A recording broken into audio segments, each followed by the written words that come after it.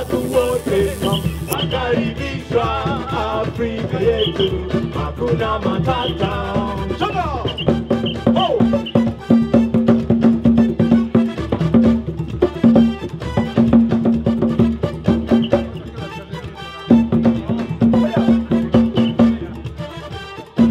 fölsétáltok majd velünk a házba, és belenéztek ezeknek a lényeknek, a társainknak a szemébe, akkor érzékelni fogjátok, hogy mennyire hasonlítanak hozzánk.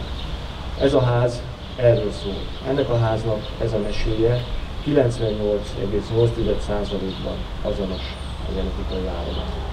Ugyanúgy alszunk, ugyanúgy ásítunk, ugyanúgy ébredünk, ugyanúgy mosolygunk, ugyanúgy nevetünk, sőt, ugyanúgy szeretkezünk. Ez a ház az erről szól, nézzétek meg. Nagyon-nagyon sokban hasonlítunk egymáshoz, de azt, hogy ki a jobb, ki az okosabb, ki az ügyesebb, ezt nem tisztem eldönteni. Egy dolgot hozzá kell, hogy tegyek, hogy egy közös őstől származnak az emberek és a csimpánzok. 6 millió évvel ezelőtt vált szét a fejlődés útja, Hosszú kutatás eredményeképpen, amikor több ezer gént megvizsgáltak, kiderült, hogy az emberi génállomány 154 génnel változott, a csimpánzóké több mint 223-mal. Tehát evolúciós értelemben ők fejlettek mindig. Egyéb értelemben pedig mindenki most saját maga eldönti ezt.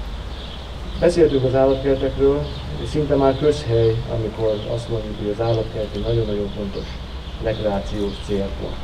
Hiszen olyan közfeladatokat lát el, mint oktatás, nevelés, természetmegőrzés, fajmegőrzés, vagy igényes szórakoztatás. Én azt hiszem, hogy, hogy aki az állatkertben él és dolgozik nap, az látja, hogy az állatkert egy kicsit többen él. Az állatkert egy olyan közösségi tér, ahol generációkat átívelve családok, emberek megtalálják a közös eh, szabadidejük eltöltéséhez a közös témát, a közös teret, és én azt hiszem, hogy Győri Állatkert méltán kimondhatja azt, hogy a régió talán a leglátogatottabb, legismertebb családi tere. Már ez egy vadasparknak tekinthető, fantasztikus megoldásokkal az ember közelébe hozta az állatokat, az embereket is közelebb vitte az állatokhoz. Nem pusztán az állatok bemutatásáról van szó, nem pusztán arról van szó, hogy olyat lássunk, amit esetleg természetes környezetben nem látunk Magyarországon, vagy akár Európában, vagy csak a világ néhány ritkább pontján tekinthető meg, hanem az a környezet, hanem a természetesség, ami nagyon fontos, hogy az emberek is visszatérjenek azokhoz a természetes megoldásokhoz, az a természetes közeghez, aminek a részei vagyunk, és hogy ezt elveszítjük, először a lelkünkben, aztán utána az életmódunkban, akkor utána elveszítjük a talajt a lábunk alól, és én, mint orvos mondhatom azt, hogy tulajdonképpen betegségbe fogjuk lenni az életünkbe.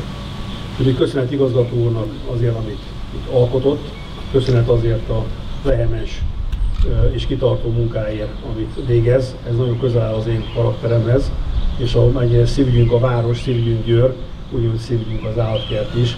És úgy látom, hogy igazgató úr egy kiváló csapatot épített fel itt az állatkertben, és egyedül nem megy semmi munka, és azt mutatja ez a fejlődés, hogy ez a csapat ez jól működik, és egy okos vezető az okos emberekkel, tehetséges emberekkel veszi magát körül. Gratulálok ehhez a csapathoz, igazgató mert kiváló az a munka, amit elvégeznek, és csak egy kiváló csapattal lehet elvégezni. Az imént éppen igazgatóról beszélgettünk arról, hogy rendkívül fontos turisztikai látványosságok az állatkertek, egyébként nem csak Győrben, hanem Magyarország viszonylatában is, hiszen a vidéki állatkertek látogatottsága meghaladja 3,5 millió főt, ezzel a turisztikai attrakciók között az állatkertek az első helyen szerepelnek. Ezt a korábbi hetekben jellemző helyzetet szerencsére feloldotta a, a vírushelyzet feloldása. Ez azt jelenti, hogy az állatkert is most már nem csak az elmúlt napokban, hanem az elmúlt hetekben is látogatható volt, és a következő időszakban is reményeink szerint zöggenőmentesen látogatható ad abszurdum zótáborokkal, és hát természetesen fiatalokkal, akik itt az imént éppen néztem animátorok segítségével megismerkednek az állatoknak az életmódjával és különböző információkat kapnak Ez is azt mutatja, hogy egy kiváló csapat áll valóban itt rendelkezésre, a szakmai értelemben az állatkert fejlesztésére és fenntartására is.